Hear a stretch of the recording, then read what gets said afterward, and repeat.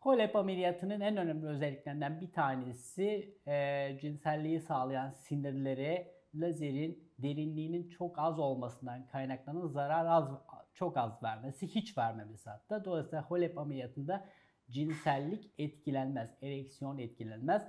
Ancak tüm endoskopik prostat ameliyatlarında olduğu gibi retrograd ejekülasyon dediğimiz meninin dışarı değil de geri idrar torbasına kaçış söz konusu olabilir. thank you